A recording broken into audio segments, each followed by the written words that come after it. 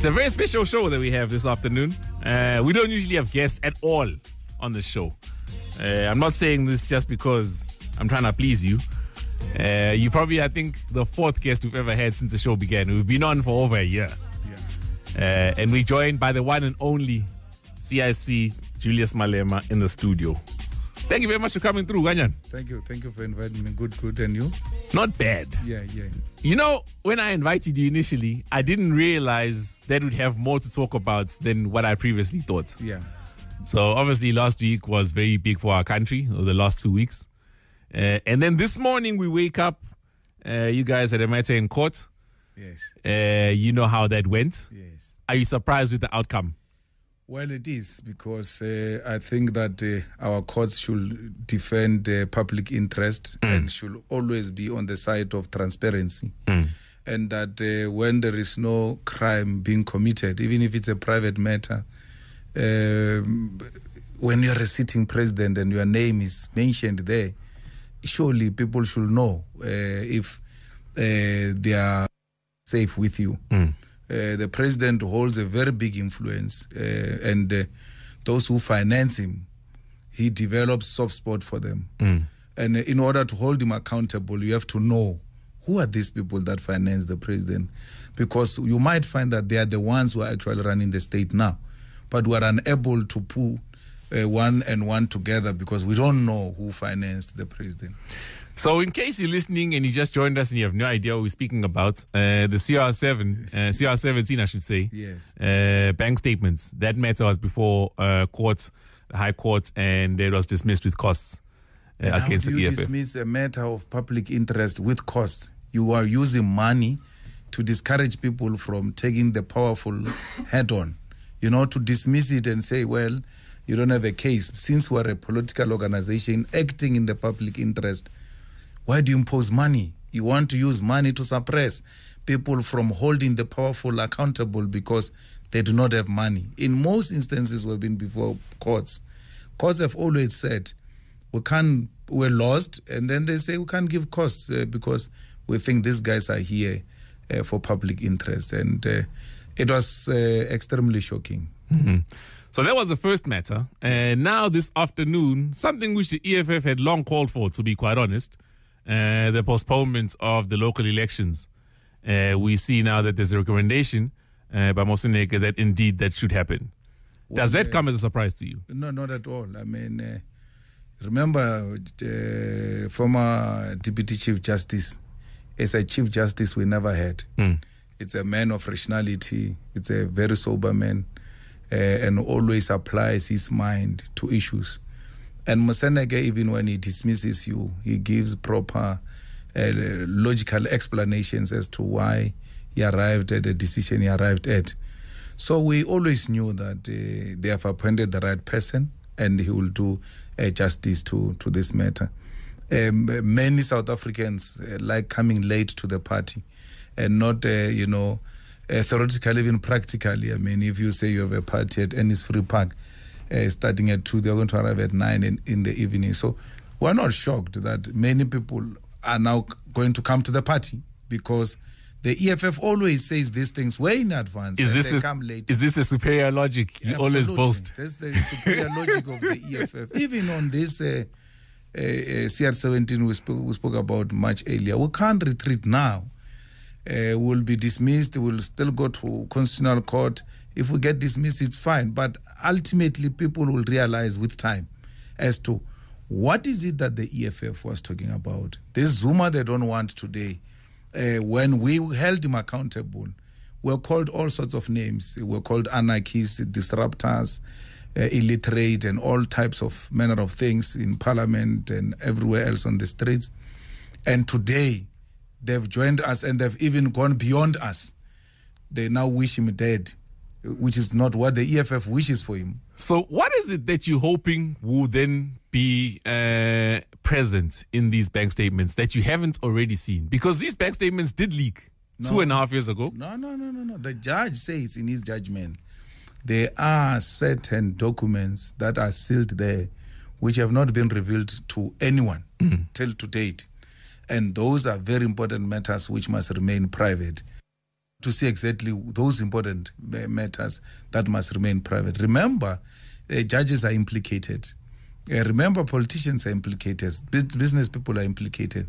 The only way you can settle it is by revealing uh, those papers. Then we know that these judges are judging us based on law, not on uh, being pre. Uh, bought by uh, whoever uh, might have given judges money uh, before. The Chief Justice spoke about this before that uh, you can't have judges that you know when they hear this matter and the restaurant so appearing before these judges, you already know where the direction this judgment will take. So it's unfortunate. So the only way you can settle this and to close the mouth of information peddlers and, and rumor mongers reveal the documents. The president himself uh, got elected under the ban of transparency. He should be actually be an applicant with the EFF, demanding that the CR17 documents must be uh, uh, uh, released so that people can know what uh, what is contained in those documents. Look, the president has spoken about him not having known who the donors are to his campaign to begin with. He wasn't in charge of those funds. And at the risk of bringing him into this, because I mean, if I want to speak to the president, I should yeah, have called the president in here. Uh, what then do you think you can hold against him personally, even if it were to be found that somebody else did donate there? There's a rumor that he wrote emails that uh, were sent to the donors thanking them. Uh, only when we reveal those uh, documents will we know that indeed the president didn't know because they say he thanked them. But I know the president knew because he gave two EFF members of parliament money. And when I confronted him about it in parliament, he said, they approached me, they had a problem, they had a difficulty, and I had to help. And where did the money come from? It came from CR17. So how can you help people with money that you don't know it exists or it comes from where? But he's got money of his own. No, no yeah, he's got his own money, but that one comes specifically from CR17 because when these uh, uh, documents were being leaked one by one, their names were found in the CR17 uh, bank statements, not in Cyril Ramaphosa's bank statement or uh, Ramaphosa Foundation statement. No, it was CR17 bank statement. He's confirmed in Parliament. He's there in, on on on record uh, where he says uh, they called me for help and I helped them. He didn't know where the money must have come from, but surely you know if you're running a campaign, look, we've got maybe, I don't know, a war chest of this much now. You've run campaigns before. Yes. You've never lost a, um, a conference, as you always say. Yes. So you do know what kind of numbers you're working with. And I know where the money comes from. Mm. I don't just know. I'm not going to use uh, blood money. What if I'm being fed blood money? Are you saying our president so naive to a point that he doesn't care that his fi- uh, campaign is financed with blood diamonds? A caring president will know. Hold that thought. We're going to go to traffic and then we'll come back just on that point exactly. Welcome back to Kaya Drive. Just joined us. It is 24 minutes past three. A very different kind of show that we're having this afternoon. a lot more talk and less music, but it's for a good reason because we're joined by uh, Julius Malema in studio. Uh, we don't usually have guests, but you know, we took the opportune moments just to invite you over based on everything that's been happening in the country. And before we took sports, uh, sorry, we took uh, the traffic and the ad break, you were speaking about how source of funds, especially in a campaign, is really, really important. Yes. And I don't really like to cover ground that's been covered before, or even ask a question that's been answered and, uh, and asked in the past. Uh, but you remember the issue regarding how the EFF was formed and how the initial funds came about. Yeah. Uh, and do you remember what your defense was in that? And then later you made an admission that, look, those funds did come from such and such a person. Uh, and at the time we didn't know the source of the funds. Do you no, remember? No, no, no, no, no. Um, remember, they needed 650 from us. Mm. We managed to raise all of that money. 200,000 comes from Adriano Mazzotti. Mm. We always knew it came from him, and we have never denied it. Uh, we said um, we are not involved in Mazzotti's businesses. We don't know what Mazzotti is up to, but uh, we know where the money came from and we accepted it with a clear conscience. Uh, so it's not the same thing here to say we didn't know. We knew, and we knew the person uh, involved. But it is the same thing because before we went to ad break, you literally used the words blood money, right? Mazzotti's money is not blood money. No, wait. As an example, right? Yes. Those that was your wording. Yes. Now, if the reports are to be believed, Adriano Mazzotti is a guy who is involved in illicit cigarette trading in South Africa, Yes. right? Which is illegal, Yes. uh, which is a black market activity, which can be linked to organized crime, Yes. which can then be referred to as blood money in itself. Do you know that Adriano Mazzotti has never been investigated or charged for any crime since he has been in existence? This I'm aware of. So, so, so you can't just look at a person here and through uh, smearing campaigns by the competitors conclude that this guy is a, a hardcore criminal. A guy like that, when you know that he's engaged in illicit and all manner of things, surely uh, some intelligence work should have been done to hold him accountable. He has been in business. I actually met him in the ANC. Uh, he was a member of the ANC uh, when I met him, uh, and I introduced him from uh, from the ANC to the EFF. So, if there's such information about a person, why not uh, law enforcement play its role and hold him accountable? So, you cannot just on the basis of smear then take a conclusion. All I'm saying is that the president should have ought, ought to have reasonably known who the funders are. And to say the president doesn't know, it is entirely incorrect. Because there's no way he will accept money that he doesn't know where it comes from. Unless he doesn't care.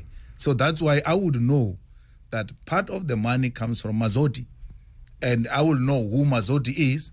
And I will accept that money with clear conscience that this is who we are. And had we not accepted Mazzotti's money, by the way, there wouldn't be EFF, An EFF, and you wouldn't have made it, yeah. elections because no establishment was going to uh, was ready to donate money uh, to the EFF. Um, uh, um, the decision by the court was made on the eve of the closure of registration.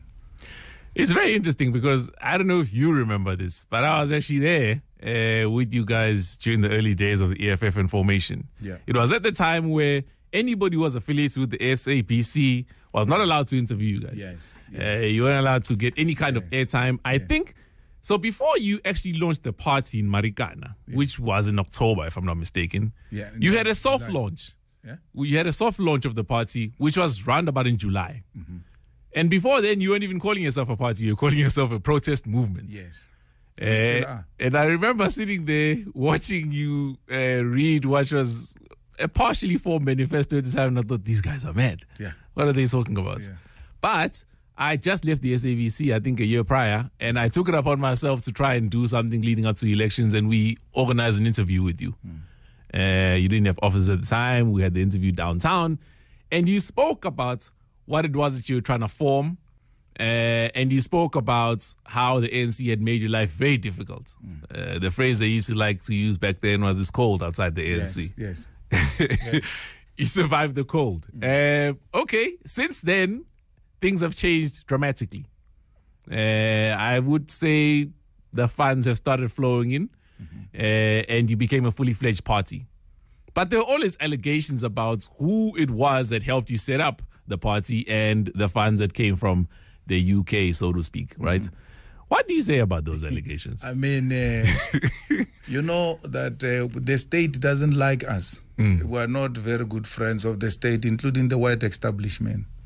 So, any manner of uh, illicit activities coming from our side, they will be exposed even before we know about them ourselves. Till to date, there's no one who has ever come forward with a proof that there was any money from UK. No one. Uh, Mngxitama and his people were disgruntled about uh, not getting positions in the EFF, started peddling that money came from uh, UK. I, I, and, and actually, they are the ones who received money from state security under Mahlobo. Um, some monies came from state security to destabilize and destroy the EFF. 10 million was set aside on Project EFF. I'm shocked because those revelations were made and these people were supposed to appear before the Zondo Commission uh, to speak about why did they get the money. So You did, however, have trips to the UK. Uh, I remember there was did. one instance We're- where you were we're- speaking we're- to we're- students. We're Uh, introducing the organization internationally. You can't uh, uh, form a political party in South Africa and not want to go and speak to the uh, potential investors of South Africa in your former colony country because your economies are aligned. Uh, so you can't uh, want to be a serious factor and not go uh, to uh, the UK and not go to America uh, to go and sell yourself so that people don't go and speak about you and on your behalf without you going to speak about yourself and telling people who are you? What do you stand for? Uh, and, and that's what we did. We met a lot of uh, investors including uh, Stephen Koseff by the way uh, and I, I had a, a heated debate with him uh, in a meeting. Uh, he was saying to me, I need to tone down. I said, that's what Minel family and Oppenheimer told Mandela when they used to spend time with him, and it's not going to happen with me. So we met the captains of industry. We meet people who disagree with us. Why do you want to spend time talking to yourself? You ought to persuade other people to buy into your ideas. And those trips were for that purpose. Who took out the pictures? It's us. Who announced the meeting publicly? It's us.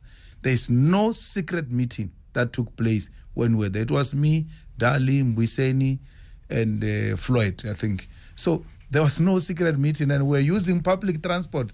We didn't have limousine or anything of that of that sort. We're using uh, make, what we call maxi taxis here. Sometimes we'll hire a kombi, and then we get into a kombi. We get taken to different areas to meet even uh, our uh, African brothers in the diaspora. in studio, we have got the one and only CIC, Mr. Julius Malema. Um, we've got a tweet here from Lunga Slick. Um, Lunga Palmer saying, please ask Julius Malema what he thinks about people calling him inconsistent. I was going to save that for later, but ah, we can get into it now. Inconsistent with what? Because So they call you a flip flopper. They say your views change. Okay, but Cyril Ramaphosa said the problem there in uh, KZN and here in Gauteng was ethnic, Mm. and the following day he said no, it's not ethnic. So the politics I pursue, if you go to my COSAS days until now, they've been very consistent. Um, I stand for left politics. I stand for free education, land for our people. I said all of this, even when we were burying uh, the former president or the founding president of COSAS, uh, Ephraim Mogale. I was very young. Uh, I spoke about these things I'm speaking about now. Um, so, given those titles by those who disagree with us to delegitimize us, so that uh, as and when we make an input, uh, people do not listen to us because an impression has been created that you can change the following day. We never changed on principle from when we were young until now. Uh, so I don't think there's anything. I mean, on I changed on what? I mean, um, um, um, I've held President Zuma accountable, for instance, and I said uh, the highest punishment you can give to a sitting president is by making sure they don't finish their term.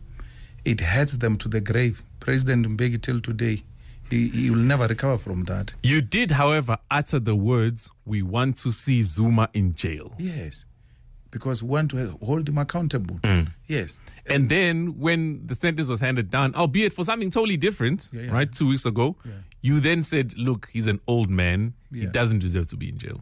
No, but you can have Zuma in jail, not necessarily in the cells. You can give him house arrest. Mm. You can have him at home. That is still a sentence on its own. That is still a punishment on its own. Because ours is a correctional service. What do you want to correct with an eight year old? Because we correct you and reintegrate you back to society to make a contribution. That's why we spend money on you. So to spend money on an eight year old is a wasteful expenditure. You won't come back and be useful anyhow. So uh, you you can have him arrested, uh, but uh, place him under house arrest. You still get the same results. So I want Zuma accountable. I want Zuma uh, uh, held uh, accountable. I'm the one. I, I fought with him when it was not fashionable. All of these ones who are going after him are peacetime heroes. Who were very scared of him, by the way, who defended him. Hold on here before we get into that one, because now we're going to get into serious issues. Uh, more talk than music, and that's because we're joined in studio by our guest, Julius Malema. uh, the CIC of the EFF. So before we went to traffic and took the break, sure. you were getting into the issue of holding former President Zuma accountable. Maybe let's backtrack a little bit, right? Uh, because I want to set the scene here. You recently turned 40, and by the time people turn 40, they have got at least three instances, right, that have defined them, uh, changed their trajectory in life, or then confirmed that they head in the right direction. For you, can you tell me what were those instances in your life? I don't know because uh, I think anything in politics is not uh, a mistake.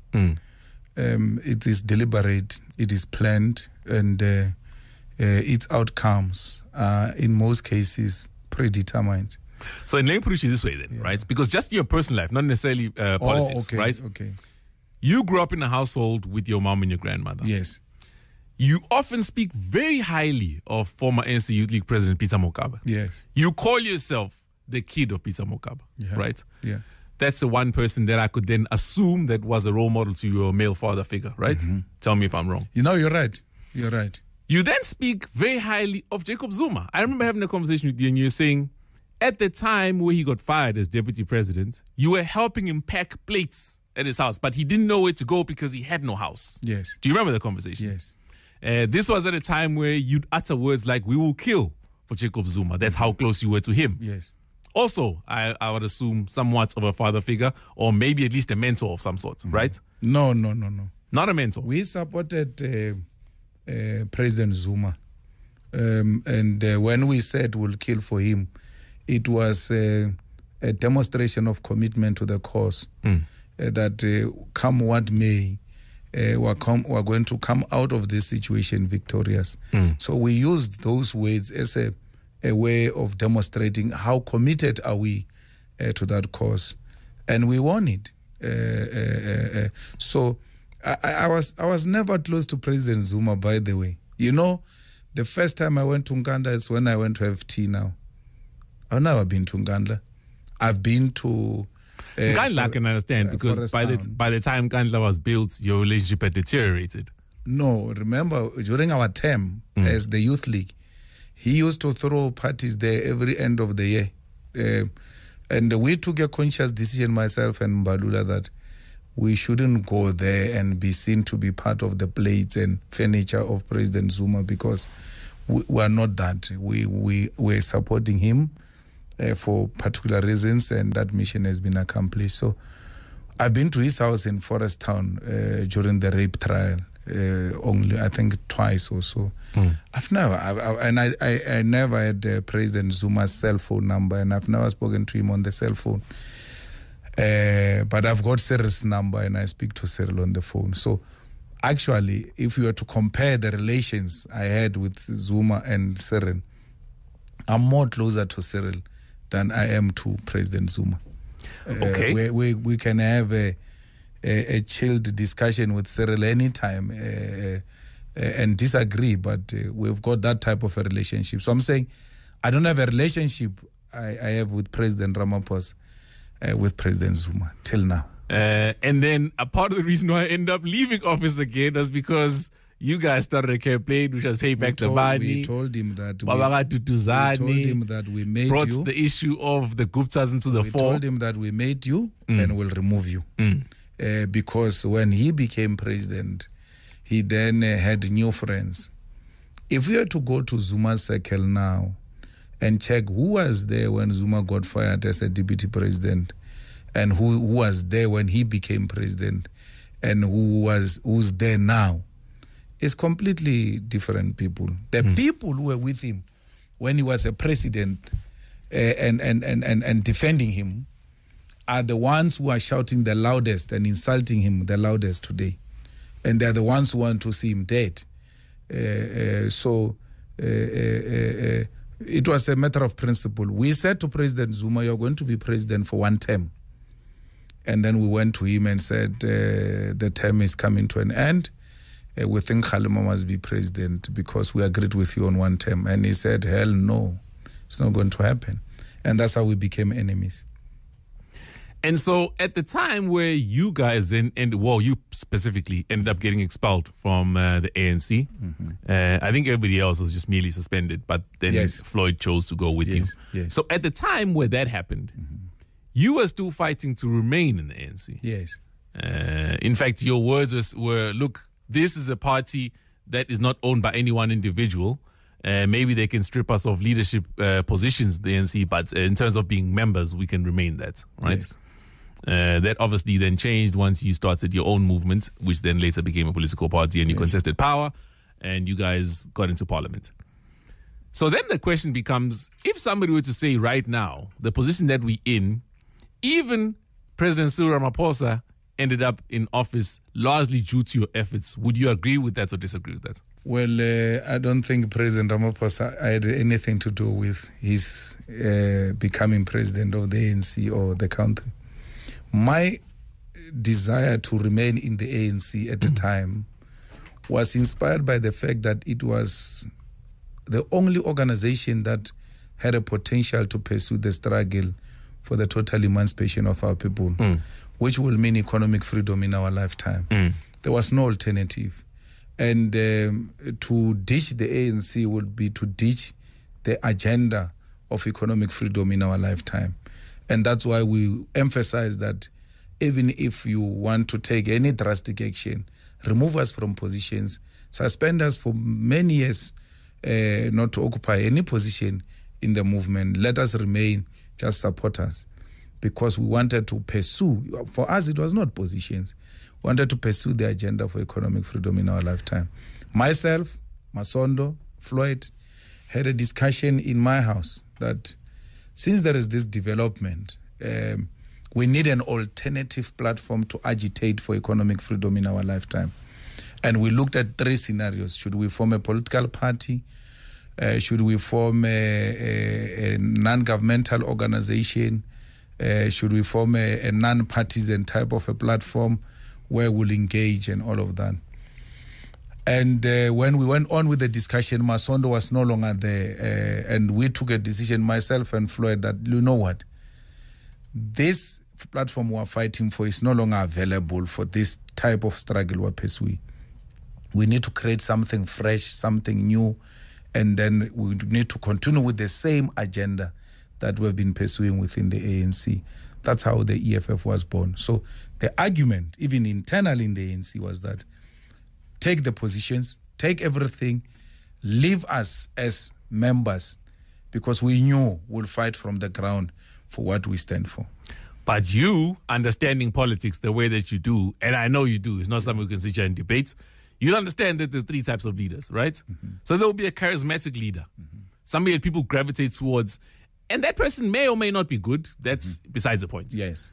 President Zuma was one such. Yeah. You are another, for example. Yeah. Pastor Bushiri is another, right? And then you get people that are governors, don't necessarily have a following per se, but they can govern, Yeah. right? I'd argue that maybe Cyril Ramaphosa is one of those people. I could, Nah, I can't. well, we'll get to whether or not you agree, right? Uh, and you can maybe look at, I don't know, former governor Tito Mboweni, for example, is somebody who can govern but doesn't necessarily have any kind of charisma to rally people around No, him, right? President Mbeki. Yes, yeah, that could be true. Yeah. That could be true. Yeah. Uh, and then you understand that within that, you then also have the third bit, which is a politician, somebody who can tactically play uh, in that space. And sometimes it can be one person with two of those traits. Very, very seldom do you get all three of those traits in one person, right? You knew this, you understood this, and you knew that even within forming the EFF, you had the charisma, and then with Floyd by your side, who then you can call maybe the governance side or, or, or, of it, mm. you had somewhat of a, a Fidel Castro and Che kind of partnership, right? Mm-hmm. I'm here to then pose to you and say that without the noise that the EFF had then started within the ANC, President Cyril Ramaphosa would have faced a very difficult time amassing any kind of position in the ANC.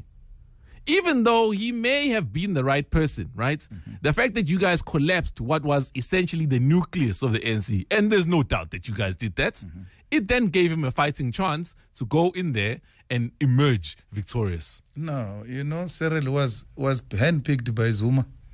And made him deputy president. Yes. Because But that didn't necessarily mean that the guy was going to end up being that, president. that's how the, the history teaches us that they all become uh, president. Deputy president become president. Um, um, uh, uh, he went to fetch him, uh, and then uh, we have what we have now. Uh, president Mbeki went to fetch Zuma. We have what we have now. So um, it has always been like that. But I, I agree with you that if we had a, a strong youth league uh, in the ANC, which is what led to our expulsion, President Zuma would not have been president in Mangaung for second term. He knew that.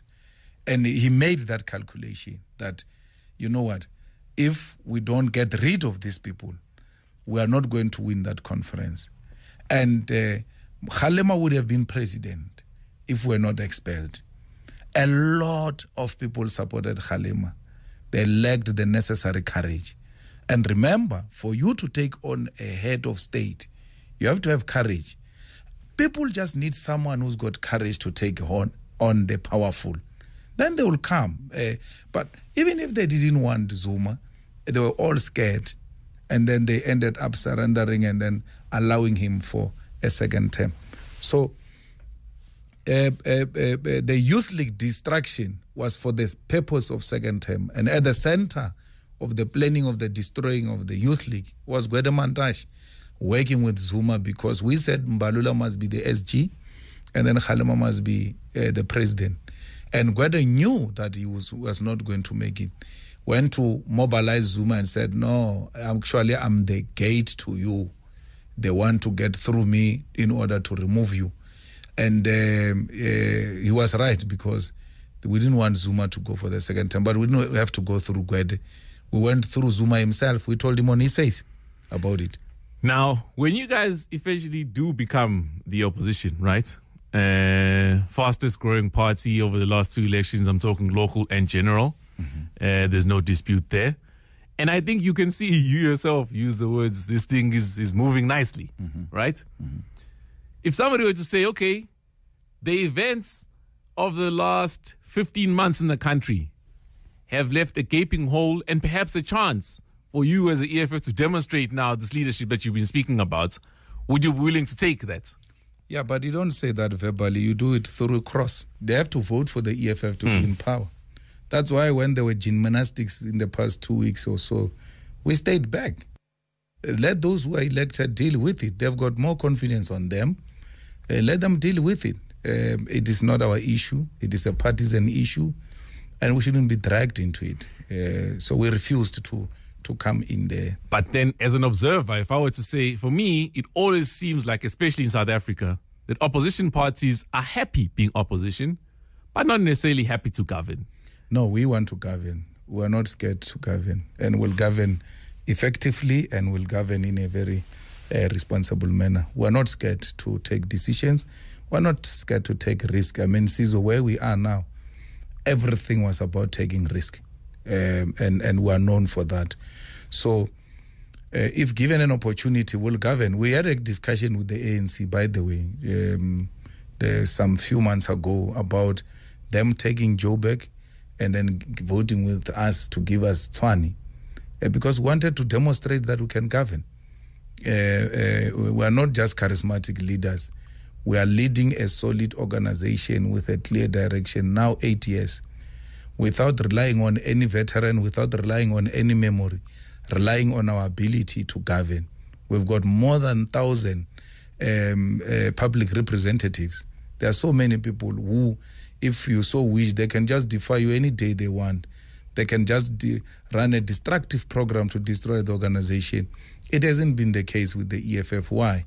We can govern. We are that type of leadership which can govern and run its own affairs in an orderly manner.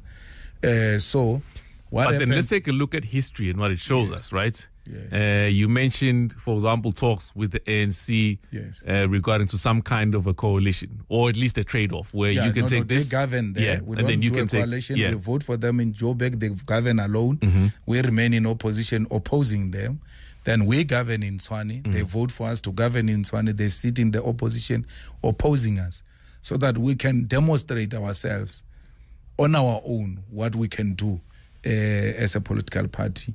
and they re- they refused that. I mean, uh, initially they agreed, uh, uh, uh, and Paul Mashatile was leading such a discussion.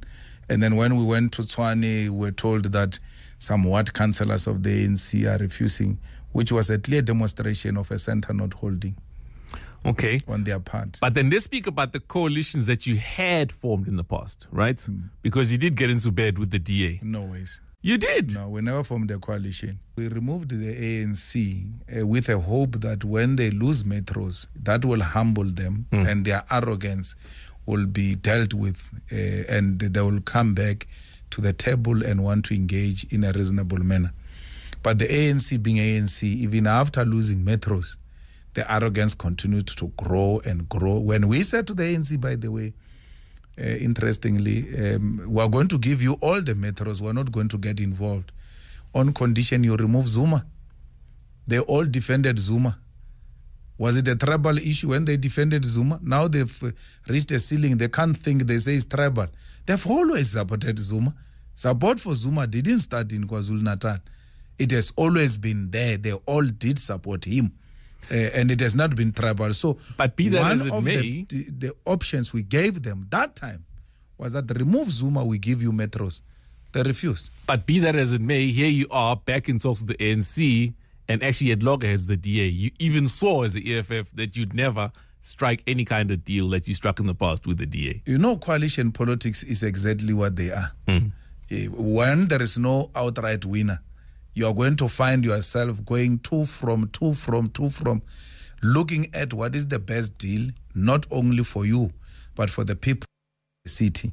So coalitions are going to be there. Our next uh, a decade or so, and the most unfortunate thing is that in Gauteng, it will even lead to the province, by the way, uh, where there will be a coalition. The reality is that we're going to have to kiss frogs in a, on our way to power. That's what coalition does. But a naive person who has got no clear clarity of what politics are and uh, what coalition politics are in particular will think that you are inconsistent. Coalition means permanent give and take.